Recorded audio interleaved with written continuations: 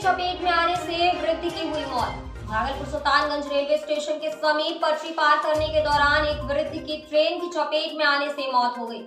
वृद्ध की पहचान देवकी मंडल उम्र लगभग नबीस नब्बे वर्ष पिता स्वर्गीय वासुदेव मंडल घर नारायणपुर वार्ड नंबर 25 बताया जा रहा है।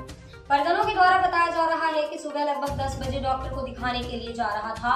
इसी दौरान ट्रेन की चपेट में आने से उनकी मौत हो गई मौके पर स्थानीय रेल थाना पहुंचकर आवश्यक कार्यवाही के बाद शव को पोस्टमार्टम के लिए भागलपुर भेज दिया। डॉक्टर के पास जा रहे थे दवाई लाने के लिए, अकेले ही। नहीं और था दादा अकेले आया उसके बाद बाद में फिर आया पीछे से। अच्छा। कितने बजे की घटना है? नौ दस बजे। नहीं कितने बजे? दस बजे।